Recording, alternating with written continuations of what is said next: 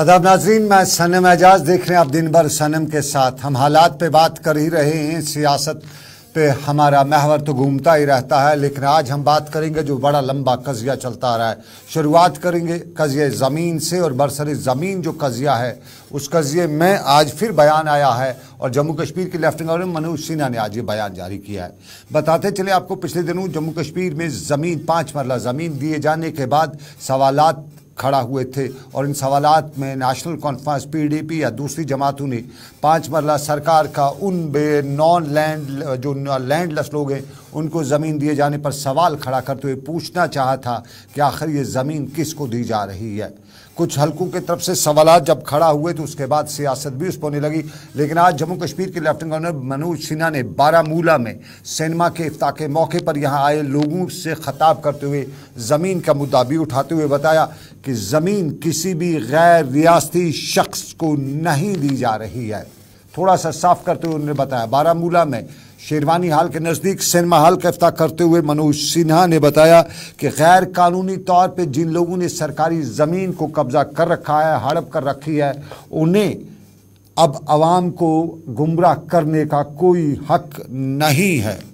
बारामूला में इफ्ता करने के दौरान मनोज सिन्हा ने यह भी बताया कि जो गरीब लोग हैं, वो उनके पास आए थे और उन्होंने उन्हें बताया कि उन्हें मकान बनाने के लिए ज़मीन दी जाए और फिर जो सर्वेस किए गए, उसमें एक लाख निन्यानवे हज़ार पाँच सौ लोगों को पी एम ए वाई के तहत ज़मीन, जो घर हैं, वो मंजूर किए गए, जिसमें छियालीस हज़ार लोग जो हैं, वो एस सी और एस टी कैटेगरी से ताल्लुक़ रखते हैं, जबकि दो हज़ार सात सौ ग्यारह कुंबे ऐसे हैं जिन्हें मकान बनाने के लिए ज़मीन भी नहीं थी। मनोज सिन्हा ने बारामूला में अपने इफ्ता के बाद यहाँ लोगों से बात करते हुए ख्यालात का इजहार करते हुए बताया। प्रधानमंत्री आवास योजना में जितने भी एलिजिबल कैंडिडेट हैं बारामूला में क्या एक भी आदमी बाहर का है? है कोई? इस तरह की बेबुनियाद बातें करके लोगों को गुमराह करना मैं समझता हूँ कि अभी आदत बदलनी चाहिए। जिन लोगों ने दशकों से अपने रसूख के बल पर, न सिर्फ़ सरकारी ज़मीन पर अपने चहेतों का कब्जा कराया, बल्कि उन्हें उनके आलिशान महल भी खड़ा कराने में भरपूर मदद की। उनको ये हक नहीं है कि गरीबों के अगर घर बन रहे हैं तो उस पर वो व्यंग करें और उसमें अड़चन पैदा करें। अवाम के बीच इतनी बड़ी असमानता जिन लोगों ने पैदा की, हज़ारों ऐसे परिवार थे जिनके पास ज़मीन नहीं थी नजीर पर छत थी, और दूसरी तरफ़ गैर कानूनी ढंग से इलीगल तौर से सरकारी जमीनों पर, लाखों कैनाल जमीनों पर कब्जा करके कुछ चंद लोगों ने अपने महल बनाए और वो भी अपने पैसे से नहीं, उसकी कहानी में मैं नहीं जाना चाहता। एक बात मैं कहना चाहता हूँ कि वक्त बदल गया है। अब जो प्रशासन है, उसकी प्राथमिकता में, जैसा अभी चेयरमैन साहिबा कह रही थी पसमादा लोग, जो गरीब है, जो कमज़ोर है, वही शासन की सर्वोच्च प्राथमिकता होनी चाहिए और वही रहेगी, इसमें कोई इसे बदल नहीं सकता है। चंद दिन पहले जब फैसला किया गया था तो अनेक बेघर लोग सबका सपना है कि हमारे हमारी छत हो अपनी छत हो। और इस संकल्प को हमें पूरा करना है। और मैंने पहले भी कहा कि गरीबों पर गरीबों का हक संसाधन पर पहला होगा। और जिन लोगों के पास भी घर नहीं है, उन्हें निश्चित रूप से घर मिले। ये हम सब कोशिश करेंगे। 2021 में माइग्रेटरी सर्वे के दौरान बारामूला में भी 114 आदिवासी परिवार ऐसे हैं जिनके पास ज़मीन नहीं है। अब उनको प्रधानमंत्री आवास योजना में ट्राइबल प्लान में अगर घर मिलेगा तो वो सरकारी भूमि नहीं दी जाएगी तो बेचारे घर नहीं बना सकते। और मैं आज यहाँ कहना चाहता हूँ कि ऐसे लोगों को ज़रूर ज़मीन दी जाएगी, निश्चित रूप से उपलब्ध कराई जाएगी। इसमें ये कदम पीछे हटने वाला नहीं है अब कुछ खास लोगों के लिए प्रशासन चले। मैं समझता हूँ इसकी आवश्यकता नहीं है। जम्मू कश्मीर के आम नागरिक की हर बात सुनी जाएगी। जम्मू कश्मीर के आम नागरिक और आवाम की तकलीफ़ दूर हो, इसकी हर कोशिश की जाएगी। लेकिन कुछ चंद लोगों के हितों में जम्मू कश्मीर प्रशासन काम करे, अब ये दिन बदल गए हैं और मुझे लगता है ये बात हवा के बदलते मनोज सिन्हा, बारामूला। में ज़मीन की बात कर रहे थे। बारामूला के आदाद शुमार पेश करते बताया कि एक साथ चौदह फैमिलीज़ ऐसी हैं जिनके पास ज़मीन नहीं है और मनोज सिन्हा ने वहाँ मौजूद लोगों से ही सवाल किया कि आखिर उनके पास ज़मीन नहीं है तो वो कहाँ जाएँगे? क्या सरकार की ये ज़िम्मेदारी नहीं है कि उन्हें ज़मीन दें? समय बदल चुका है, ये मनोज सिन्हा ने बताया। यानी वक्त बदल चुका है और मैं एक कदम भी पीछे हटने वाला नहीं हूँ, ये मनोज सिन्हा का कहना था। मनोज सिन्हा ज़मीन की बात बारामूला में करे थे, जम्मू में पीडीपी मुजाहरा कर रही थी। सुबह सुबह महबा मुफ्ती का ट्वीट भी आया और उस ट्वीट में जम्मू का वीडियो जो उनका है, वो उन्होंने शेयर किया और उस प्रोटेस्ट के दौरान, जम्मू में पीडीपी के प्रोटेस्ट के दौरान सवाल ज़मीन का ही था और सेव जम्मू, सेव डोगरा का ऐलान या नारेबाजी करते हुए पीडीपी कारकुनान बता रहे थे कि जम्मू कश्मीर या डुगर देश का एक इंच ज़मीन भी किसी गैर रियासती को नहीं दी जाएगी। कल्चर को बचाने की बात की जा रही थी, तहजीब को बचाने की बात की जा रही थी और जम्मू में इन लोगों को बाद में पुलिस ने गिरफ़्तार भी किया कुछ वक्त के लिए। और इस दौरान ये लोग बता रहे थे कि गैर रियासती को ज़मीन देने का कोई हक नहीं है और ज़रा सरकार साफ़ करे कि जम्मू कश्मीर में अगर किसी को ज़मीन देनी है तो स्टेट सब्जेक्ट के तहत ज़मीन मिलनी चाहिए, ना कि डोमसाइल के तहत। और ये भी कि पिछले कई सालों से कई गैर रियासती जम्मू कश्मीर में हैं, उनने यहाँ डोमिसाइल भी बनाए हैं, उन्हें ज़मीन है ही नहीं यहाँ पे तो उनका नाम आएगा ही आएगा। इसलिए स्टेट सब जो है, उसको ज़मीन देनी चाहिए, चाहे वो जम्मू कश्मीर के जिस इलाके का हो, लेकिन डोमिसाइल को ज़मीन दिए जाने के खिलाफ पी और जम्मू का डोगरा मुखालफत करेगा। ये वो लोग जम्मू में अपने इस मुजाहरे के दौरान बता रहे थे। सुनिएगा उनकी मांग भी। प्रदर्शन था, आज का प्रदर्शन था पाँच मल्ले ज़मीन, जो एलजी एडमिनिस्ट्रेशन बीजेपी के साथ मिलके बाहर के लोगों को दे रही है। हम उसके खिलाफ हैं। हम कह रहे हैं कि ये गलत है, क्योंकि अगर आपने पाँच मल्ले ज़मीन देनी है, पाँच मल्ले ज़मीन आपने देने ही सिर्फ़ स्टेट सब्जेक्ट को है, क्योंकि जम्मू, कश्मीर के वासी उनकी ज़रूरत है और इसका सबसे ज़्यादा इफ़ेक्ट जम्मू खत्े में पड़ेगा। रियासी, अखनूर से लेकर कठुआ, क्योंकि कोई कश्मीर नहीं उठ के जा रहा, क्योंकि आप देखें कश्मीर के हालात। ये तो कहते हैं ना, कश्मीर के हालात बहुत अच्छे हैं। डेढ़ महीने में दो इंसिडेंट हो गए हैं। दीपू कुमार बेचारे की अनफॉर्चुनेटली डेथ हो गई। तीन हमारे वर्कर्स वहाँ पर आए हुए, बेचारे गरीब लोग हैं, काम करने आए हैं उन तक को टारगेट किया तो वहाँ पर कोई नहीं जाएगा रहने क्योंकि वहाँ पे बंदूक का डर है। नॉर्मलसी वहाँ पर आई नहीं है। तो इन्होंने ये सब यहाँ पे जम्मू में स्टैब्लिश कर क्योंकि जम्मू में बीजेपी अपनी ग्राउंड छोड़ चुकी है। लोग उनके साथ नहीं है। लोग उनसे सवाल पूछ रहे हैं उनके पास कोई सवाल का जवाब नहीं होता। उनको लग रहा है कि जम्मू के लोग वोट नहीं करेंगे तो हम ये बाहर से इंपोर्टेड पॉपुलेशन लाते हैं जो हमें वोट करेगी और हम उनको यहाँ बसा देते ताकि हमारे आने वाले टाइम के लिए हमारे लिए आसानी हो जाए देखिए हम हम गांधी के फॉलोअर हम गोडसे के फॉलोअर नहीं हम प्रोटेस्ट करते रहेंगे और प्रोटेस्ट तब तक नहीं रहेंगे करते रहेंगे जब तक पूरे जम्मू को ये बात पता चल जाएगी और ये जम्मू की बात जहाँ ज़मीन को लेके ये बताया जा रहा था कि सबसे बड़ा सैलाब जो है इस माइग्रेस का ज़मीन का, या तूफ़ान है, ये जम्मू में ही होगा। कश्मीर पे इसका कोई असर फ़िलहाल नहीं पड़ेगा। बताया इस तरह से जा रहा था। और चूँकि जम्मू में बीजेपी को बेस ख़त्म हो रहा है, इसलिए बाहर से वोटर्स को लाके जम्मू में बसाने की कोशिश की जा रही है, ताकि डेमोग्राफिक चेंज भी हो सके जम्मू में। ये जम्मू में आज बिजली का मुद्दा भी यहाँ पर महँगाई का मुद्दा भी उठाया था। हम महँगाई पर बाद में ज़रा बात करेंगे, लेकिन उससे पहले बताएँ, उमर अब्दुल्ला भी ज़मीन का मुद्दा लेके थे। और उमर अब्दुल्ला ने आज खित पीर पंचाल या ख़त चनाब कहें इसको। ख़त चनाब में अपने अवामी जलसों के दौरान ज़मीन की बात भी की। ज़मीन की बात करने के साथ साथ उमर अब्दुल्ला ने इंतबात का मामला भी उठाया और साथ साथ में जम्मू कश्मीर में तमीर तरक्की या हालात की बात भी कर डाली। और उमर अब्दुल्ला ने मीडिया से जब बात की तो सबसे पहले मीडिया का सवाल यही था, क्योंकि बात बारामूला से उठी थी जम्मू कश्मीर के लेफ्टिनेंट गवर्नर मनोज सिन्हा ने ज़मीन की बात की थी तो उमर अब्दुल्ला ने भी सवाल पूछा कि हम समझना चाहते हैं, पूछना चाहते हैं कि ये ज़मीन देने की निशानदेही जो प्रोसेस है ये कैसे की गई है? जिन लोगों की ज़मीनें नहीं है क्या वो यहाँ जम्मू कश्मीर में कब से रह रहे हैं? ये ज़रा गवर्नमेंट साफ़ करे और कट ऑफ़ डेट जो है ज़मीन देने के हवाले से वो पाँच अगस्त दो होना चाहिए ना कि उसके बाद। ज़रा सुनिएगा उमर अब्दुल्ला ने मीडिया इंट्रैक्शन में क्या बताया। So far, have you found inclusion of any outsider voters in voters list here? So far, have you found any inclusion of voters, outside voters? Non state subject voters in the voters list अब non state subject इन्होंने state subject का दायरा ही बदल दिया। हम तो कहते हैं ना, वो, वही तो मुसीबत है। इन्होंने इन्होंने स्टेट सब्जेक्ट का हिसाब किताब ही बदल दिया है। जो ये कहते हैं, हम हम जो बिना ज़मीन के हैं, उनको हम ज़मीन देंगे। हम उनसे पूछते हैं ना, अब आपने इनको आइडेंटिफाई किस तरह किया? ये लोग आए कब? ये कब से यहाँ बसे हुए हैं और इनके पास ज़मीनें नहीं हैं? हमने इनसे कहा कि आप कोई कट ऑफ़ डेट रखिए। अगर और कुछ नहीं तो कम से कम पाँच अगस्त 2019 ही रखिए। जो पाँच अगस्त 2019 से पहले यहाँ बसे हुए थे पहले उनको ज़मीन ज़मीन देने की बात करिए।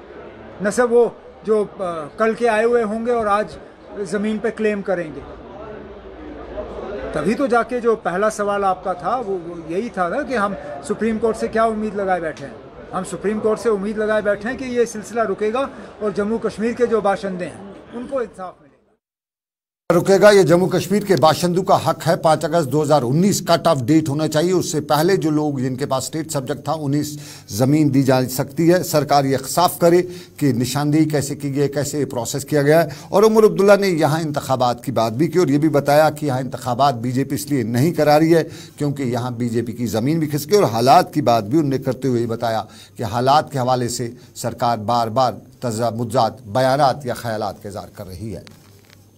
बार बार कहते हैं कि हालात इस तरह अगर हालात ठीक हैं तो इलेक्शन क्यों नहीं? बड़े बड़े दावे तो होते हैं लेकिन ज़मीनी सतह पे जो हकीकत है वो या तो शुपैया हो या रजौरी हो या पुंछ हो कई ऐसे वाक़ात पेश आते हैं जिससे कि लगता है कि या तो जो वो दावे कर रहे हैं वो गलत है या तो फिर हमें आ, सही सिचुएशन जो है दिख नहीं रही है। लेकिन ऐसे ऐसे इलाकों में आज मिलिटेंसी देखने को मिल रही है, जिनको पूरी तरह से मिलिटेंसी से साफ़ किया गया था।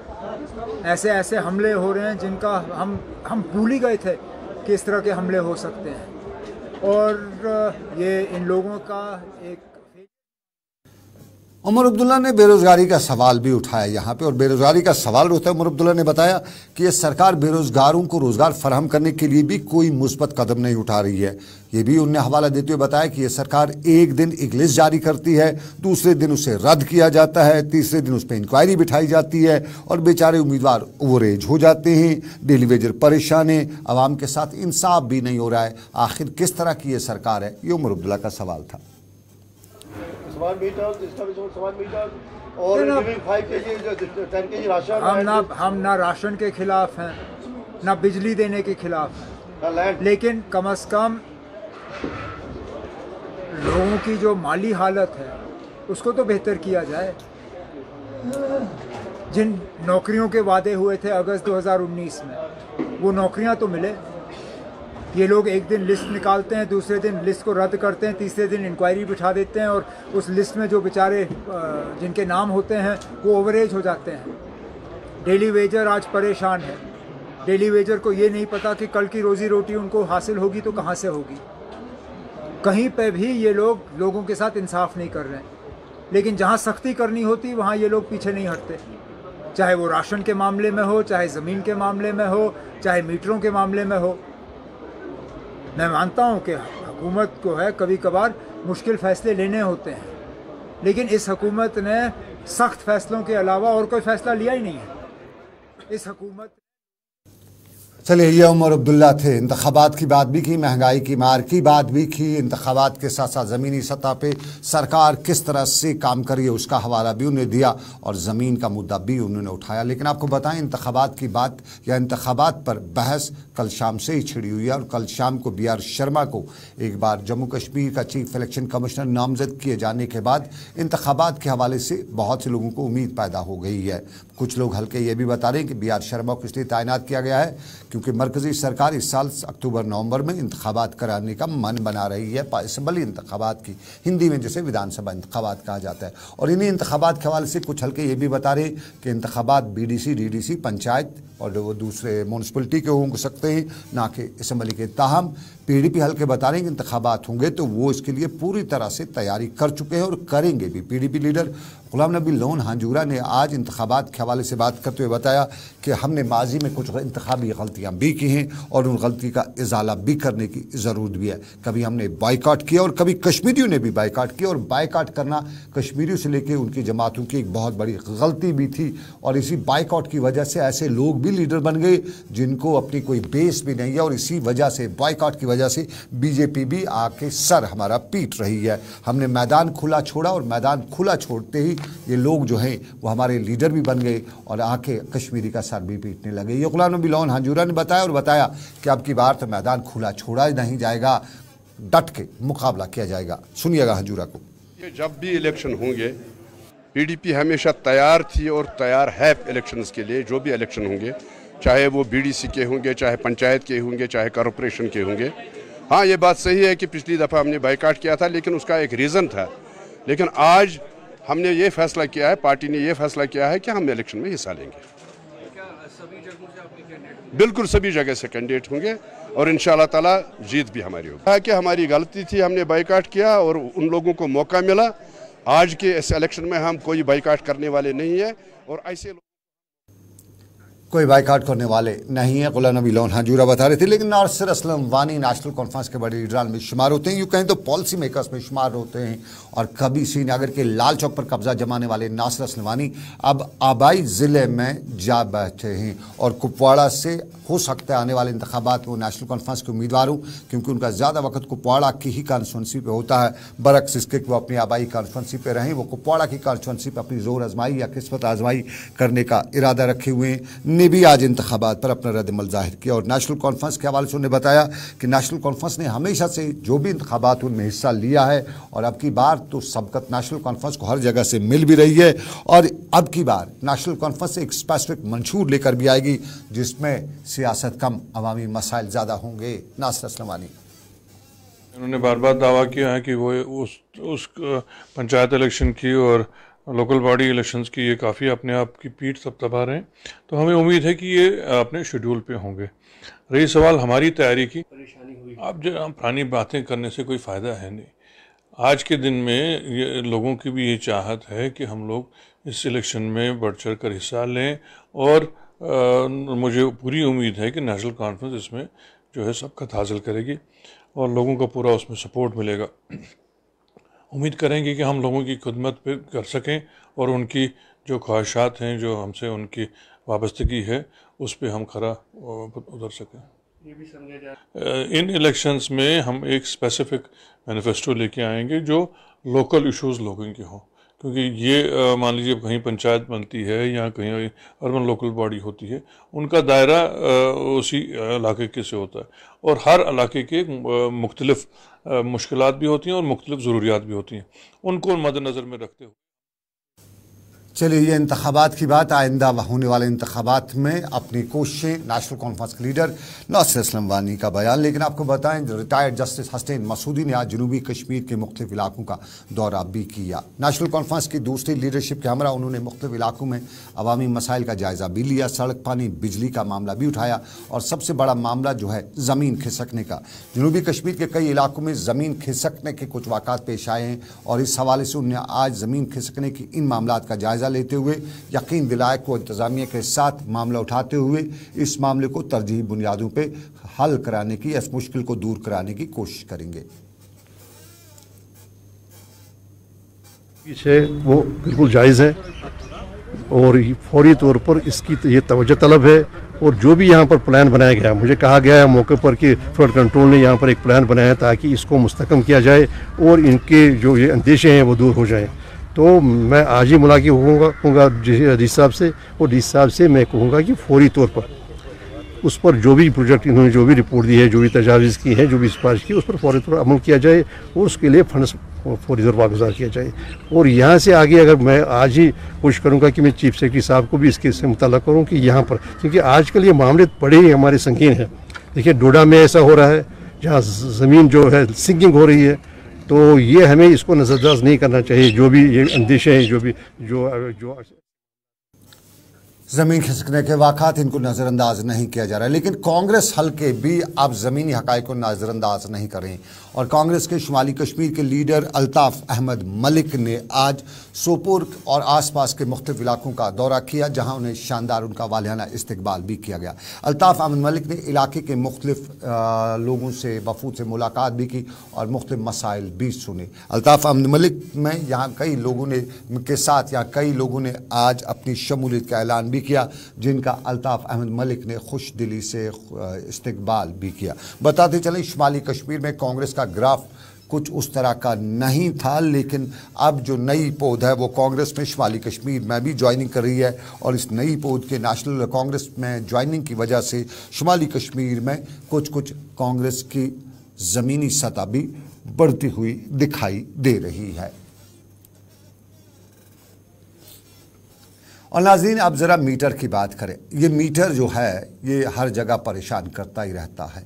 इस मीटर की वजह से कपड़ा फरोश जो है, वो मीटर की वजह से कहीं हाथ भी मार लेता है। ऑटो चलाने वाला भी मीटर की वजह से कहीं आदमी को परेशान कर देता है। लेकिन एक और मीटर है जिसने पूरी कौम को इस वक्त परेशान कर रखा है। ये मीटर है बिजली का स्मार्ट मीटर और कश्मीर के बहुत से लोग क्या अक्सर आबादी कहती है कि आखिर ये हमारे साथ ही क्यों?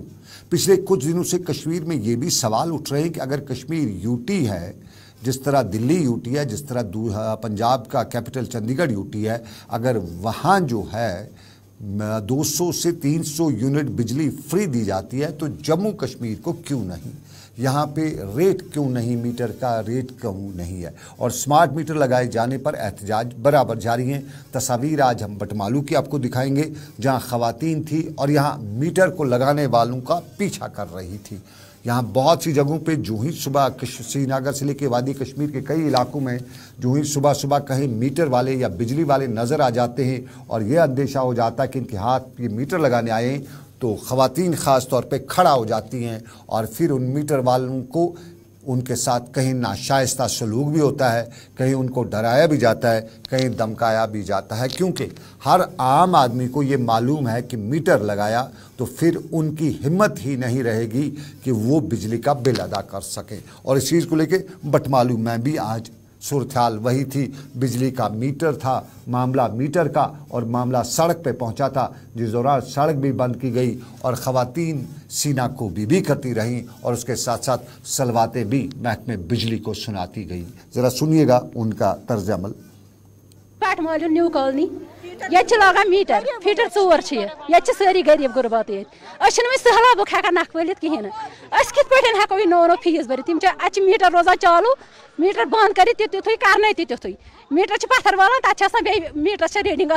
चालू मीटर बंद कर तुथु कर तुथु मीटर पत्थर वालान तथा बे मीटर रीडिंग चालू मगर वनकस अक इल्तजा अगर वनकस हेको कह कर मगर पगह वंद रगस तुम वन ये कुत शीन क्या करो वंद रतन सोन इंसाफ करो तुम अ गवर्नमेंटस यी इल्तजा तम कर इंसाफ तम वन वंद रतन मज क्या कर वनकस हेकान कर ये श्रीनगर के बटमालू में बीट, मीटर का कजिया, लेकिन शुमाली कश्मीर के बारामूला में आज सिनेमा हॉल के खोले जाने के बाद शुमाली कश्मीर में ये अब की बार में पहला प्राइवेट सिनेमा हॉल होगा, जहाँ लोगों को तफरी का मौका हासिल होगा। बारामूला में ये सौ सीटर सिनेमा जो है, इससे इलाके में जो मल्टीप्लेक्स खोला गया है, इससे शुमाली कश्मीर में सिनेमा को एक नई मंजिल भी मिलेगी।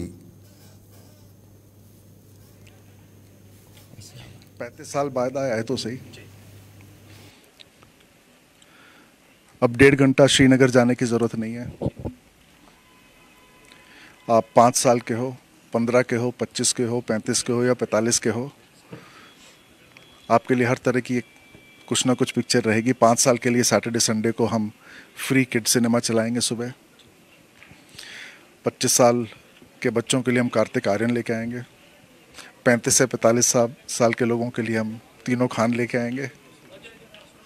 और उससे एक एक काफ़ी अच्छा इनिशिएटिव है क्योंकि आ, बहुत सी डिफरेंट चीज़ें यहाँ पे हो रही है और थिएटर यहाँ पे ओपन हो रहा है। मतलब आपको अब दूर जाने की ज़रूरत नहीं है। अब थिएटर्स आपके घर के पास पहुँच चुके हैं।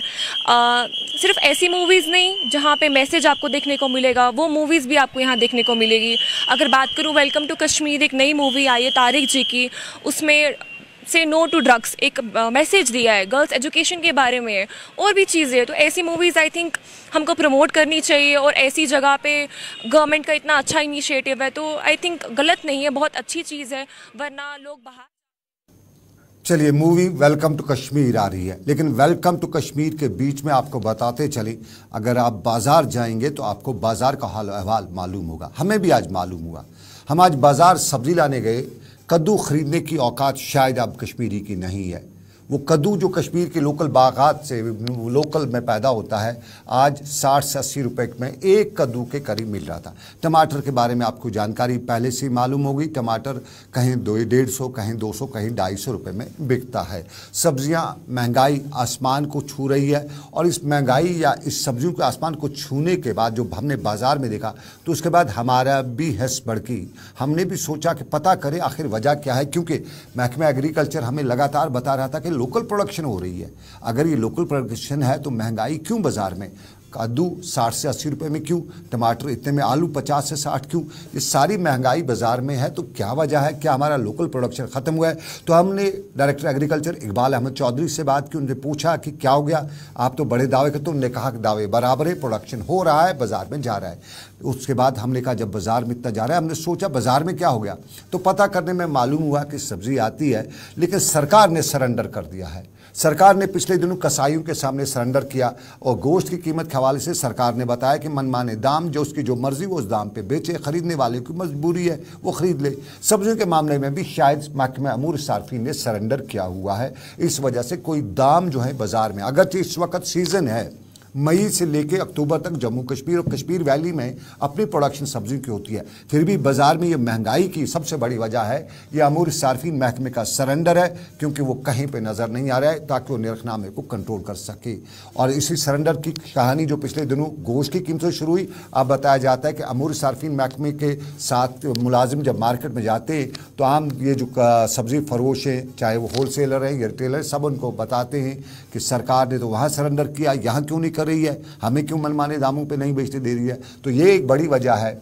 यहाँ मनमाने दामों पे सब्ज़ी बेची जा रही है और उस सब्ज़ी की महँगाई की सबसे बड़ी वजह इस वक्त वही, यही है। वरना ये क्या वजह है कि लोकल प्रोडक्शन है, हमारा हाक भी इस वक्त पैदा हो रहा है, हमारे यहाँ टमाटर भी बाज़ार खेतों में लग चुके हैं, वहाँ से प्रोडक्शन हो रही है। हमारे यहाँ कद्दू से लेके बीन्स, ये सब सब्ज़ियाँ इस वक्त घरों में तैयार हो रही हैं। इवन कि किचन गार्डन्स में भी तैयार हो रही हैं। फिर भी बाज़ार में ये निरखनामे जो महँगाई है, ये इतनी सबसे बड़ी वजह इसकी यही है कि यहाँ पे सरकार का सरेंडर है। तो चलिए वेलकम टू कश्मीर जहाँ पे महकमा अमूर सार्फिन, जो सरकार का एक महकमा है, वो सरेंडर कर चुका है और आवाम को लुटते हुए देखते, देख भी रही है और खामोश तमाशाई बनी हुई है। तो इसी के साथ आज का जे के दिन भर यहीं पे ख़त्म हुआ चाहता है। मुझे दीजिए इजाज़त इस उम्मीद के साथ कि रब कायनात की मर्ज़ी, फिर करेंगे आपसे मुलाकात। रखिए अपना ख्याल। अल्लाह हाफिज़।